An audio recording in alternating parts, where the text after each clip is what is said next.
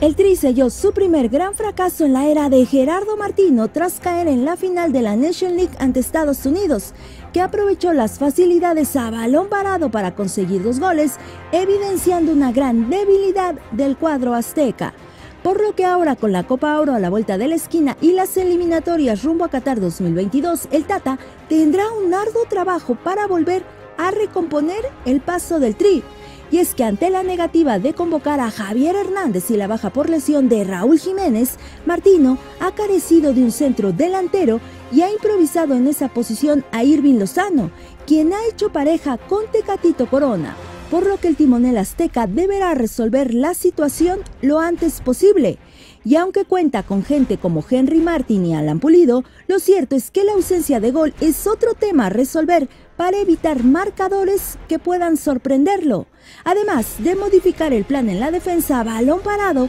o cambiar a Memo Ochoa, quien siempre ha batallado con los centros, por un portero que no tenga problemas con eso. Lo cierto es que la tercera derrota del Tri caló hondo por los graves errores, ya que fue la primera en un duelo oficial y con un título en juego.